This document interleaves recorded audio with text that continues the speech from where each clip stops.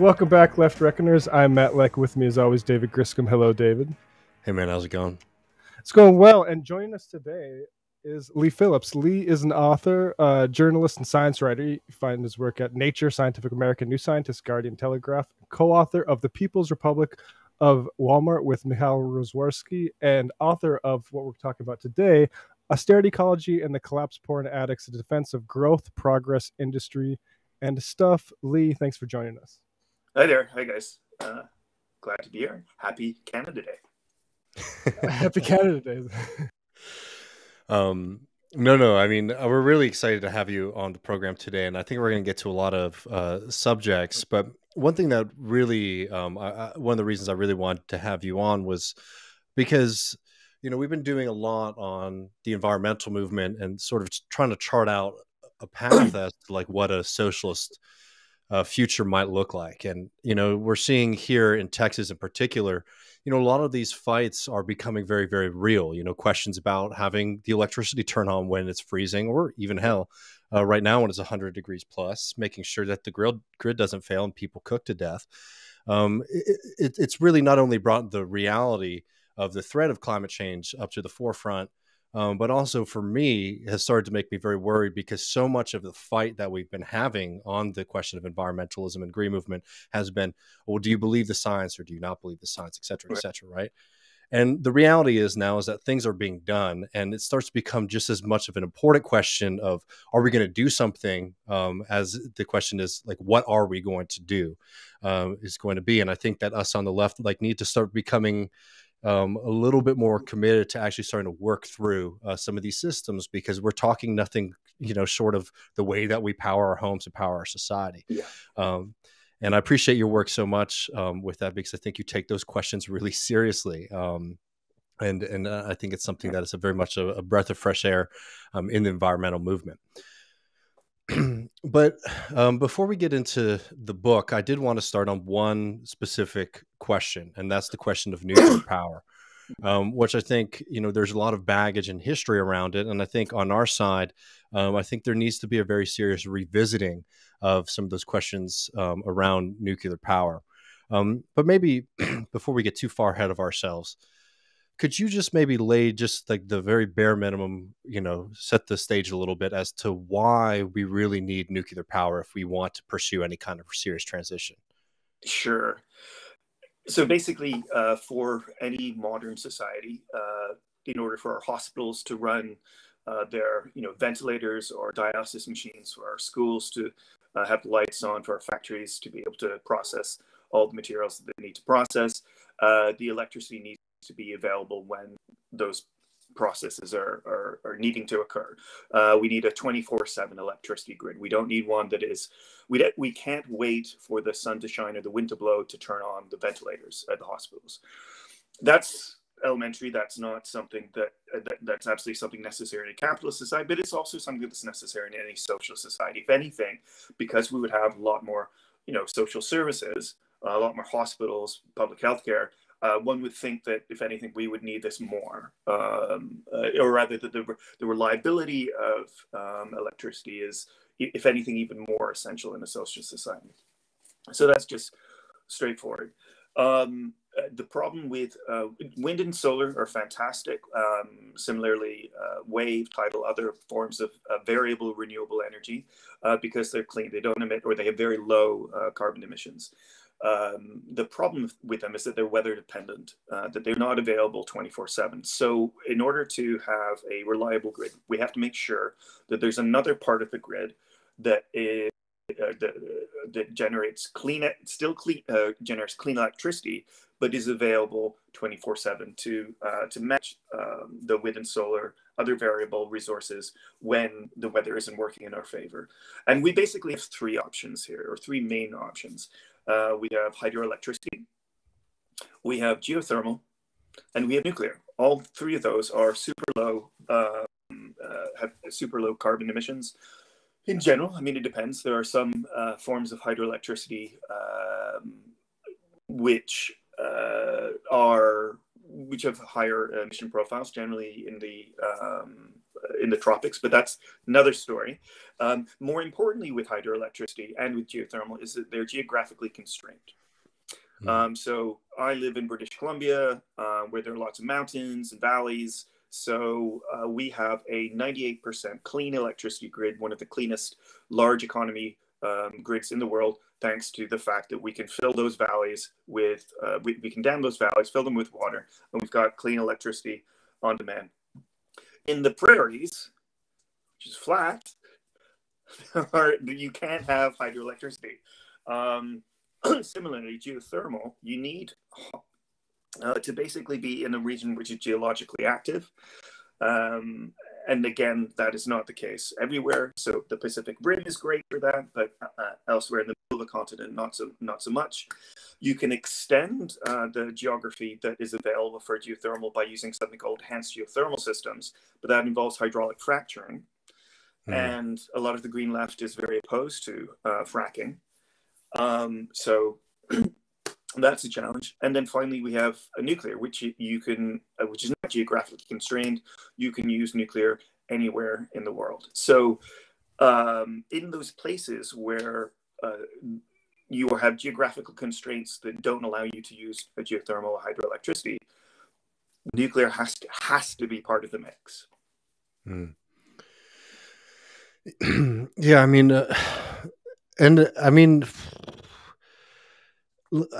I think most people, um, you know, there's a hesitation around nuclear, and I, I, I, don't think it's necessarily completely misplaced. I think one of them is like maybe a little bit more squishy in the sense that it's just like, oh, this is like a big machine and it's a little scary, and I might not really understand the process here.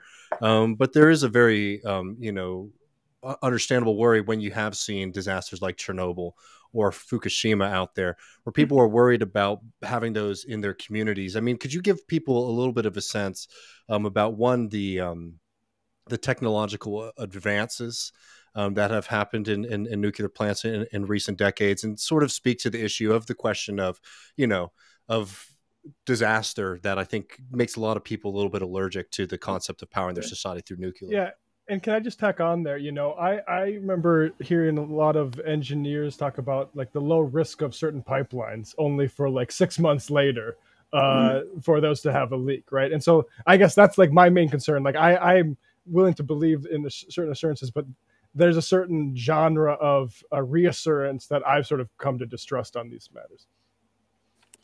Uh, okay. All right. Uh, just writing down some of your questions there. Um, so, actually, one other quick thing I should have said um, earlier. Uh, what about batteries? What about um, mm-hmm. uh, yes energy storage? Uh, instead, sure, batteries are great. Uh, energy storage is awesome, um, but we have to remember that our very best batteries last just for a few hours, and there may be days or even weeks on end where the wind isn't blowing, the sun isn't shining, or the wind is blowing too much and so we have to turn off the uh, the, the, turbines. Uh, the, in you know in Japan, uh, every year there is like a typhoon period where uh, lasts for like three four days, and uh, you would have to if you had an entirely uh, variable renewable energy system powering Tokyo, you're not you're going to have to you would have to have uh, enough batteries to cover that gargantuan um, energy demand for just those three days. So even if you were able to uh, build such a system, which is a you know technologically might we don't we aren't there yet in terms of batteries, um, uh, that is an enormous expenditure uh, for just three days worth of uh, of use. Um, in a capitalist system, obviously, no private investor would want to do that. But even in a, uh, a social system, it's still an irrational use of resources just for those three days. When over here we've got this other technology that where we don't have to worry about that. Um, with respect to concerns around things like Fukushima, waste, um, uh, et cetera, et cetera, with, uh, with nuclear. So straight out of the gate, um, what we have to understand is that there's no such thing as uh, any energy system or energy technology or any technology for that matter that is 100% safe. Doesn't exist. Uh, so what you're looking for is one that has the is the most safe rather than something that is uh, perfectly safe. And already, even taking into account um, uh, disasters like um, Fukushima and Chernobyl. And now, also remember, zero people killed um, in, in Fukushima uh, in this industrial accident. Um, and relatively small number of people were killed in, uh, in, uh, in Chernobyl. Nevertheless, and I would also argue that the Chernobyl incident uh, was more a product of a uh, decrepit, corrupt, authoritarian regime, the Stalinist regime, than any something something in technology itself. Um, uh, but even taking into account the, uh, uh, those disasters, you measure the the way that you could measure any sort of the safety of any energy system or energy would be the number of deaths per unit of energy, the deaths per kilowatt hour. And uh, far and away, nuclear has the fewest deaths per kilowatt hour. It is lower even than solar. And one of the reasons that you might think that's kind of crazy, where's the danger in solar? Well, because you know you have to, uh, people have to climb uh, roofs and stick solar panels on roofs, and sometimes people fall off them and injure themselves or even die. Um, similarly, uh, you know, um, uh, solar panels involve uh, the use of heavy um, heavy metals such as lead, cadmium, a um, number of other heavy metals, and of course the processing of that involves um, uh, exposure to uh, to the, the, the workers involved, and so there's there's a there's a there's a death profile associated that, with that as well. So again, what we're looking for is not a purely safe, 100% um, safe energy system. The we're looking for the safest uh, energy technologies, and nuclear far and away um, wins wins that battle. Um, in any case, it isn't as if um, uh, we've stopped improving or uh, improving the safety uh, since uh, since this period. So any uh, I, I, I, don't want to throw under the bus existing nuclear because it is already like ridiculously safe, but um, third generation um, fourth and fourth generation uh, nuclear reactors literally can't melt down, and it isn't like well um, that's what you say, but maybe you haven't figured something out and there's a possibility. The, the, the, what are what are called passive safe, safety systems involve things like gravity to uh, to to make sure that this is walk away safe. So even if there are no humans involved, the the physical systems themselves, physical laws, um, uh, basically turn off the turn off the the, the, the fission process. For that system to fail, we, the only way that it would fail, it would be the same way that uh, a, a ball could spontaneously run up a hill. It just can't happen. It's physically impossible for that ha- to happen. Um, so, so that I, as far as I'm concerned, the, the meltdown question is a box that, box that has already been ticked. Uh, that is not uh, an issue that we should be concerned about at all. Um, and in fact, you know, in, in terms of the debate these days, most people that isn't really their their main concern. The main concern really is either about radiation or um, or the or, or, the waste. What do we do with uh, nuclear waste? Um, let's deal with the, the radiation issue first. Um, a lot of people are very very scared about radiation, not realizing that um, uh, that you know light is radiation. That um, if you take a, a, a, return flight from New York to, to London, you'll be exposed to more um, ionizing radiation than a lifetime's worth of, uh, of the same uh, exposure to a, a, nuclear power plant worker. So it, it's about radiation is bad per se. It just depends like in what's the exposure level, um, what kind of radiation and um, as, as, I said, with respect to um, that single flight, the, the, the radiation danger is extraordinarily low. There are many um, activities that we engage in um, that are far more uh, that deliver far more uh, far greater exposure uh, to ionizing radiation than than living near a nuclear plant, than working in a nuclear plant for uh, for your entire lifetime. It's again, it's a non-issue. Um, then uh, finally, on the issue of waste. So we're taking uranium out of the ground and then processing it, or in some cases, we don't need to process it, and then using it um, in, in, nuclear power plants. And then once uh, it's done, we can put it back down in the ground. Oops. Now, taking that out of the ground, um, it, it, did it cause any issues uh, with respect to the biosphere? Not particularly. In fact, there there is a um, sort of a natural um, reaction, I'd say, that uh, exists in, in, in, West Africa. It was a, uh, um, uh, a reserve of, of, of uranium that began self-fissioning. Now, because it was in a, uh, a location that was like a formation, a geological formation that is uh, very, very, very, very stable and has been stable for billions of years, uh, is basically excluded, for separated from the rest of the biosphere. So when we uh, want to uh, take our waste and put it back down into the ground, that is a sort of formation that we're looking for. Uh, a, a, a, geological formation that is again has been stable for billions of years, utterly cut off from from the biosphere, and and and we're good. And other possibilities are reprocessing the waste. Uh, that adds an additional expense. France does this at the moment, and then after the end of that processing period, the the, uh, the high level waste is uh, um, instead of we're talking instead of talking about tens of thousands of years um, before it could be you know held in your hand safely, we're now reducing it to about 300 years. Hmm. So there's that. So again, I would say that the uh, the waste uh, issue, whether we're uh, burying it in the ground or we're processing it, it, it as far as I'm concerned, there's really no um, issue with respect to any endangerment of the biosphere. But at the same time, we also have to that um, um, other energy processes, it's not as if under other energy processes don't have their own waste streams that pose um, uh, issues to the rest of the biosphere, to humans uh, in particular. Um, as I said, uh, solar panels um, involve the, the processing of them involves uh, lead, cadmium, other other heavy metals.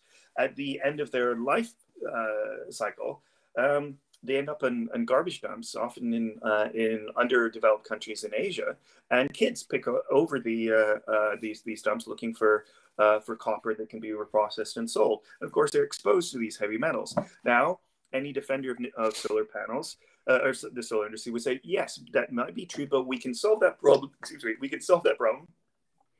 I uh, didn't mean to burp at the solar solar panel. um, uh, we can solve that problem through good regulation. I agree. Um, but then that's the same uh, sort of approach that we can do with mm-hmm. uh, nuclear. So it's it's a matter of like what's good for the goose is good for the gander. If you think that we can solve some of the um, uh, the sort of toxic uh, waste issues with uh, with variable clean energy through regulation, we can do the same with nuclear. Sorry, Matt, you had something. Uh, you know, I got I got a couple things. If you want to go first, um, David.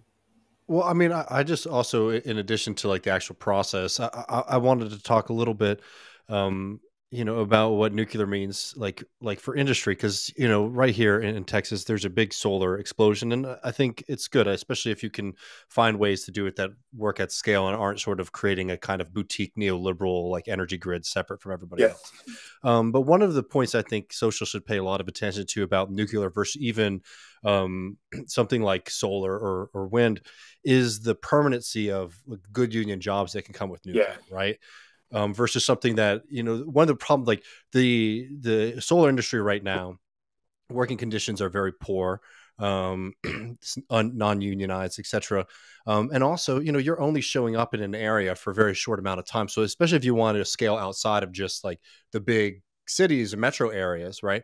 It's hard to make those jobs sort of be local um, and like create development for the community versus the nuclear plant, which is like that's not moving, um, you know, down the street anytime in the near future, right? That has like a very very serious planning potential of being able to say, okay, here's a community we can create very stable, well-paying union jobs for folks versus something that's as it works right now, it's sort of coming in uh, to a community for a very short period of time and then moving on. Um, but uh, I, I, I, I think that like thinking about this labor question too is something that we should also be considering in addition to just the you know the actual nuts and bolts of how much energy we're producing and how we're producing it. Yeah you've hit the nail on the head there. Um, there are uh, there are people who would say well anybody who's who's working in the solar sector the wind sector um, uh, they need too and they need decent wages too and i would absolutely agree. But mm-hmm. at the same time we have to recognize, and any trade unionists will tell that um, one has to be strategic and recognize that there are some industries that are more easily unionizable than other ones. Mm-hmm. That uh, a, uh, also that a union is not a magic wand that suddenly turns a uh, uh, nine dollar, twelve dollar an hour unskilled uh, job into a hundred thousand dollar a year um, mm-hmm. uh, permanent uh, position. This even you, you, know the strongest union be able to to transform that uh, that job, uh, um, this other kind of a job, and the reality is that the nuclear power plants. The, a friend of mine talks about um, the uh, the parking lot issue. Like if, if, you go to a parking lot at a nuclear power plant, you're going to see dozens, hundreds of, of, parking spots because this is a very large um, uh, uh, workplace. Against it, um, if you unionize it, and there's an effort on the part of the employer to uh, to deunionize it, to uh, uh, it is much harder because just volume of workers in the workplace. whereas a small workplace, it's harder to maintain the union because there's constant mm-hmm. turnover. Um, if you just have a, you know, a, a small handful of uh, workers who are convinced to be uh, a, against the union, um, you lose that job very quickly. Uh, with a large workplace, uh, it, once you have a union, it's really hard to get rid of which is one of the reasons, obviously, why uh, employers uh, fight tooth and nail against unionization mm-hmm. in those work in those workplaces in particular. Um, nuclear power plants create family supporting um, long community supporting uh, jobs that uh, you know if we we know that we have to get rid of uh, coal-fired plants what if we drop in small modular reactors into those uh, those boiler systems um, in allowing those communities to maintain themselves what if we um, speak to the coal mining workers and maybe they do need to, to, to move, but uh, we can maintain uh, mining jobs, the same sort of skill set with respect to the extraction of uranium or um, other minerals and materials needed for the, the, the, clean transition, which also that that's true for, for, for wind and solar as well. But this is a sort of package of, of ideas that a socialist um, needs mm-hmm. to be mm-hmm. thinking about very seriously with respect to the just transi- transition. We can't just um, call our plan a just transition and then never really deliver on it. Um, mm-hmm. Workers in those sectors and the trade unions that represent them are very aware of the challenges that they face, and they have built uh, endless, um, you know, with four decades worth of promises of just transitions, not just with respect to um, uh, decarbonization, but with anything. Mm-hmm. Uh, all of promises from uh, you know smart talking, uh, fancy educated people from the coasts um, and never delivering it on it.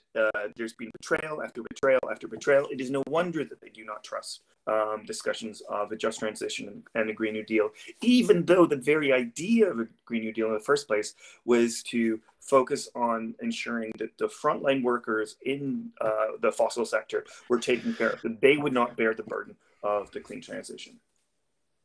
And I, am sorry, I'm just like this is some criticism I've been lobbing to our own side here in Texas that like a lot of times people have treated the just transition as like not really a commitment but an answer to a question if you get what i mean you know okay. like it's um in the sense that like the just transition has to go from being just like a slogan to like a real commitment for folks yeah. and if people are working in industries where they're seeing like you know people who do organizing here in texas are seeing what's going on with solar installation across the state, and it's bad. Um, and the fact that they're able to negotiate special deals with the government um, to preclude them from, for example.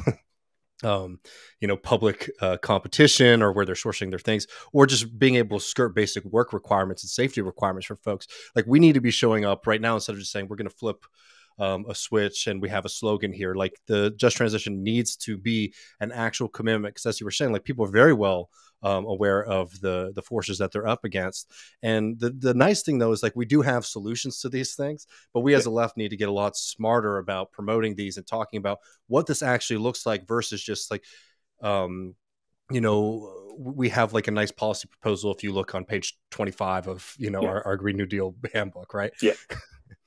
you we uh, we need to make sure that we are speaking to industrial unions Mm-hmm. um, mm-hmm. from the very beginning, uh, before we develop our our, clean, our, Green New Deal plan. Not we come up with our Green New Deal plan in the in the boardrooms of some NGO or think tank or um, uh, you know with some grad students.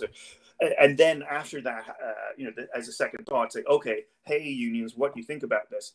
And then in, when we do that, and some industrial unions or transportation unions or energy sector unions push back and say, this wouldn't work, this wouldn't work, this wouldn't work, we don't like this um, our response should not be, oh, they're just being very conservative. They're they've been bought mm-hmm. off by the bosses. This is business unionism, which is what you always hear.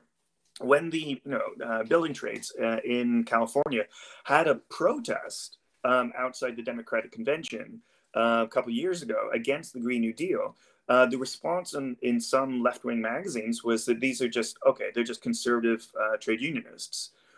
I'm, I'm not going to be saying that um, all workers, by dint of being workers, are automatically noble and visionary and uh, everything they say is correct. I mean, just some vulgar workerism. No, but the point is that you, um, you shouldn't also go on the other uh, the flip side and assume that any time that uh, workers dis- or and their unions disagree with something that's come up in, in uh, that's been developed in a, a, think tank or NGO is because they're being conservative. It could hmm. possibly just might yeah might possibly be that these uh, these workers having uh, you know a lifetime of experience in uh, many lifetimes of experience in uh, the very systems that you want to transform are responding to your suggestions because they know them so well and say this isn't going to work. Also you're undermining our our jobs by doing this. Meanwhile over here this thing that does also deliver this set of technologies or processes that also delivers a clean transition. In fact if you look at the evidence, and we have because we know the, the, these systems very well, it will deliver m- much lower emissions and will work compared to your solutions. Uh, meanwhile, we can both preserve our jobs or preserve the type of jobs that we um, uh, we can do. So a great example of this would be. Um, I've lost track of how many times I've seen anti-aviation campaigners. There's, uh, you know, the Extinction mm. Rebellion in the UK. There's um, uh, Plane Stupid uh, from a few years ago, and now the Straight Stay Grounded campaign. All of them are trying to reduce or eliminate aviation. Even AOC's original FAQ on the Green New Deal included a, a section about um, uh, eliminating aviation, replacing it with, uh, with high speed rail. Now, I think to her credit, she pulled that back, and I think this was produced by some staffer and didn't really think it through. But um, uh, what we need to be talking about uh, with respect to aviation, we need aviation, um, both for freight and for passengers, for migration, for to be able to participate in, in national democracy. How are um, uh, union delegates from Hawaii um, or Guam or, or Puerto Rico going to be able to participate in the national union meetings um, by sailboat uh, to get to the mm-hmm. mainland? Um, there's this sort of bizarrely there's some sort there's a there's something of a sort of colonial mentality as well buried within this. And just forgetting about hawaii forgetting about guam forgetting about puerto rico and so on and so forth. But um, instead what we should be doing is developing clean fuel genuinely clean fuels. Um, either uh, whether we're talking about synthetic hydrocarbons or uh, ammonia or uh, pure hydrogen there's a range of different options here, and I'm not going to be. I, I, could spend an hour talking about the, their uh, their pros and cons. Never. The point being that there it, there's a feasible path to uh, to genuinely clean aviation uh, long haul. Um, in addition, um, uh, heavy transport shipping. Um, uh, we know that we can't electrify that. Ain't no charging stations in the middle of the Pacific. Um, so, in the process of producing clean fuels for aviation, we're also building an, uh, an industry uh, for uh, the very necessary clean fuels for um, for shipping. And uh, oh, by the way, if you're a pipe fitter or uh, you have the skill set from the oil and gas sector, uh, that is equally applicable in terms of skill set, pay, unionization, unionizability, unionization rates, um, or in principle could be um, as the uh, the oil and gas sector. So mm. uh, the the workers uh, in the oil and gas sectors can see themselves in a low carbon economy in a way that they don't see themselves when all they when all the activists talk about is uh, we need to get rid of aviation and everybody should just bicycle everywhere and uh, ride, uh, ride buses. I mean, I think bikes and buses are great, but obviously they're, they're not the entirety of the story. Yeah, and I mean, go ahead, man. You go ahead. Oh, I mean, I because I, I, am sort of itching to get to some of the subject matter in, in, in, your book, but just trying to to stick with nuclear for just a moment, um, sure. and just we, we don't have to spend um, too too long on this because we have a lot else to get to. But one thing that that is sort of worrying to me about the current state of play is because I, I've been very convinced about the the need um, for nuclear for not just the immediate future, but also, you know, for the long term to build up this kind of socialist future, which is a promise of like real abundance for working people, which is very different from the kind of liberal anti-growth mindset that that we're mm. starting to see. But we'll get into all that in a moment. Because what what frightens me though is that instead of seeing nuclear growing right now, we're actually starting to see it start to contract um, in in both this country and and in Europe with some pretty serious uh, consequences. So, I mean, we, you know, maybe in just like you know a couple minutes, if you could, just give people like a sense of of what the current state of of nuclear power is, both in the U.S. and and maybe abroad, just so people can see can understand, just like how how serious and how much movement uh, in the anti-nuclear realm there has been over the past few years. Sure. So basically, everywhere that nuclear plants have closed, the the energy that they produced uh, has not been replaced by renewables. Um, overwhelmingly, it is produced by fossil fuels. Uh, if we look at uh, Germany at the moment, um, you know, struggling through a very severe energy crisis, in part as a result of the uh, the Ukraine war. Um, instead of turning back on their nuclear power plants, they're restarting coal-fired power plants. In Belgium, uh, the government is uh, it, it's a coalition government, but the energy minister is a Green uh, Party uh, minister, very anti-nuclear.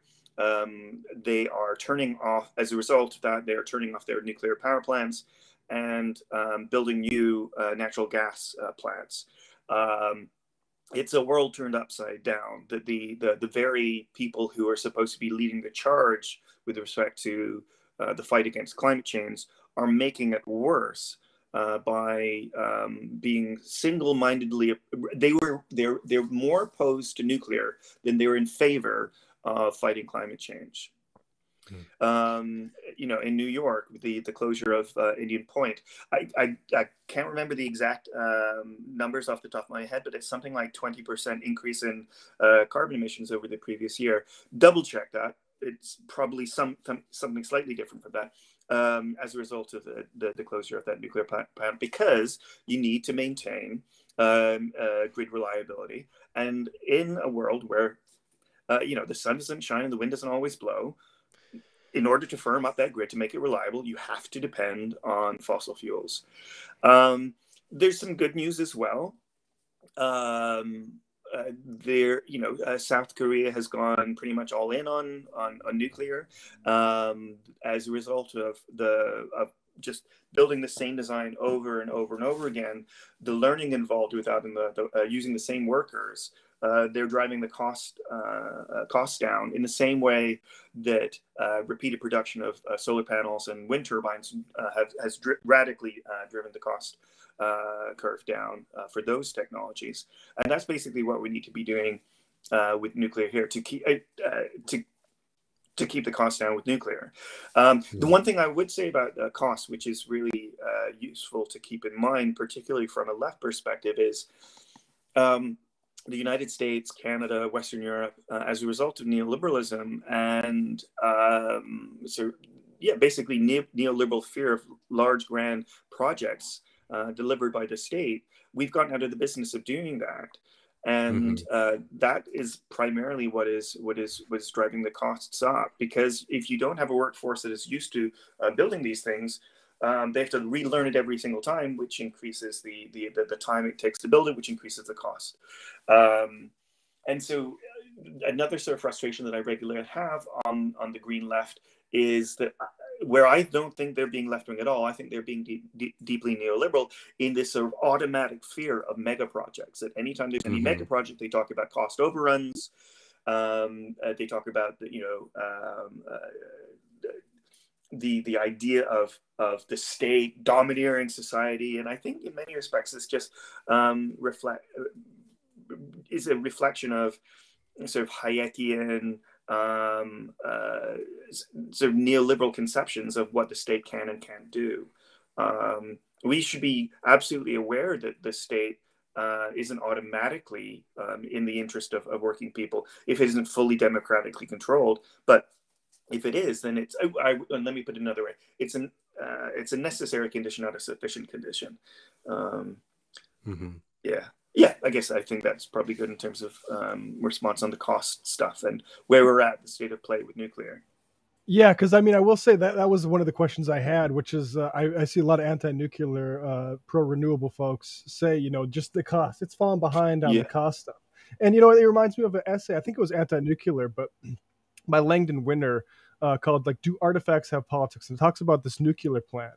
And it says, and the analysis is correct. Um, I think is, is I, I think I agree with you more about like nuclear, but his analysis was the existence of nuclear power. Uh, sort of um, implies the existence of state that is like in control of something like that and a workforce that is highly skilled and able to run that and like those are things those are i think the difference we have is like those are good things that we should yeah, be yeah. working towards absolutely um, one of the uh, the great problems that we faced during the, the, the pandemic was the, the, the the hauling out of state capacity. I mean that's a mm-hmm. piece of political jargon, but it basically means the ability of the state to do things.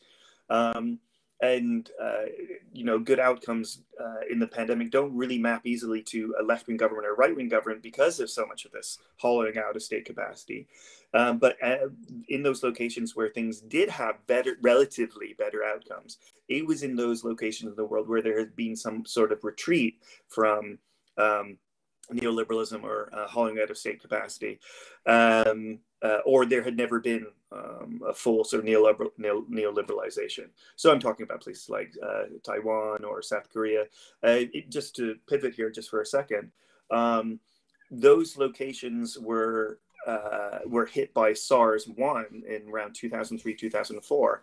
And uh, a lot of the assessments that were uh, done after the end of that pandemic, that local pandemic, um, one of the sort of villains in the piece was identified as uh, the part privatization of healthcare systems had fragmented those healthcare systems, making it much harder for them to respond. And one of the recommendations was to uh, to reverse course with respect to neoliberalization, uh, to restore state capacity. And anyway, that's a bit of a shaggy dog story and pivoting away from the questions of energy. That feels like a fairy tale. I got to jump in there though. Like seeing a country respond to something like that so um, responsibly and take like the actual lessons from it is it feels like I'm watching a like a Disney movie. I mean, we've got to understand. I mean, the, I think it would be too much to to say that South Korea Taiwan and and a number of other uh, sort of states in in uh, in the region are social democracies. Uh, what I would say is that they have developed uh, in a much more inter, uh, state interventionist way. Um, and we should, on the left, have a look at what worked and what didn't work with that in the same way that we often talk a lot about Norway and Sweden and Finland and Denmark and Canada.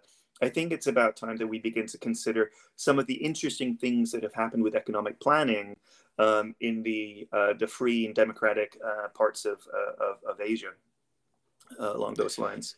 Um, oh, back to uh, questions around cost and nuclear. One last thing I wanted to say is that it's not merely that um, the left should be embracing nuclear. Nuclear needs the left, um, precisely because the it, nuclear is very very cheap um, once it's up and running uh, because of the incredible energy density of its fuel. Um, but uh, the, uh, the, the upfront capital uh, costs are, are, are, considerable, just as they are with uh, hydroelectric dams. And so market actors are very reluctant to engage in that huge mm. initial outlay of considerable costs, whereas the state is much more comfortable with that and could do it much more cheaply. so conventional nuclear really does need a strong state to make it work, even though over the long haul, it ends up being much cheaper. Um, uh, the reason that we talk about um, uh, wind and solar being super, super cheap, it's true that they're super, super cheap at the moment for the service that they provide, but they do not provide the same service as hydroelectricity or nuclear or geothermal. Those three deliver uh, clean electricity that's firm. Um, the other provides elect- uh, clean electricity that is variable. Um, and so it needs to be backed up with something. So the full cost. So that, anyway, let me put it another way. We on the left are always aware of the difference between price and cost. The cost to society of, of something is mm-hmm. is often very different from the price in the marketplace. Similar, just because the price of wind and solar is very, very low doesn't mean that that captures the entirety of the cost to the system. If you have to back that up with something else, then that cost is much is much larger. And so the full cost of uh, wind and solar has to include that backup. And once you do that, mm-hmm. then uh, nuclear uh, begins to, uh, to, be much more um, uh, rational um, from a cost perspective. One uh, final thing I got. Oh, sorry. oh. Tiny last little thing with conventional nuclear with small modular reactors, which potentially could be built um, in factories on an assembly line, and then that um, is much more market friendly, let's say, because there's a lot less uh, upfront capital investment required on the part of uh, the company. We aren't there yet. That technology hasn't been delivered yet. Uh, I mean, it does exist in um, in submarines and um, aircraft carriers and icebreakers and small modular reactor uh, research reactors at universities, but in terms of uh, at a commercial level, doesn't exist yet. And so we still need the state to take the, to use economic planning to shepherd that from pilot projects and lab bench through to uh, commercial viability. So once again, you still need a much more confident left-wing government that, uh, that mm. is, uh, is, is perfectly at ease with using the levers of government to uh, to, uh, to deliver something. So whatever we're talking about, whether we're talking about conventional nuclear, big scale, or small modular reactors, advanced reactors, we still uh, nuclear needs the left as much as the left needs nuclear. Uh, one final question, just on you know sources for these minerals. Does it got to be uranium? Uh, I remember hearing a lot about thorium five or six years ago. Is that a possibility? What what's the state of play there? I mean, I, I, don't think there's necessarily anything wrong with thorium. Um, thorium may be um, something that uh, makes uh, nuclear very attractive to a place like India, which has considerable thorium resources, not much in the way of uranium resources. But um, the one thing that I would just very quickly push back on is that uh, there is an argument that we don't need to worry about uh, uranium and all its its its its bad issues because we have thorium instead. And you know, uranium's fine. There's nothing really wrong with it. Uh, it there's in in this space there are a lot of uh, um, uh, folks who will say, let's talk about um, small modular reactors instead of conventional nuclear because it solved all these issues and we won't have the pushback from the green left anymore. Or um, let's talk about um, uh, thorium instead of uranium, or let's talk about um, uh, advanced geothermal, which is much more geographically available instead of nuclear.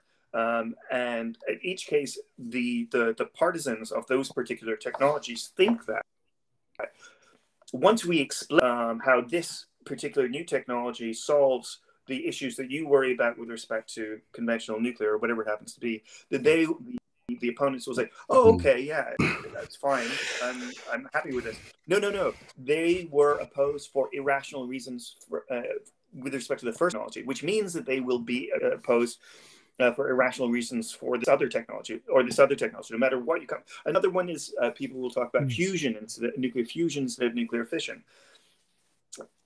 um, thinking that the green left will finally like uh, say yes, that give the green light and that we're happy with, with nuclear fusion. No, no, no, because there uh, it requires uh, tritium. Uh, it's an isotope of hydrogen. Don't want to go into details of, of that uh, about that. Uh, that is radioactive. It's very mildly radioactive, but it is radioactive. And uh, so already you see the green left saying, no, no, we don't want fusion either. Um, they it's irrational. They don't care. It's not a technology that you can come up with it, which makes them happy. Sorry maybe I'm a little bit too cynical there. No, I, I mean, I, I could see how that's uh, that way that that conversation has played out. I, I see the patterns there.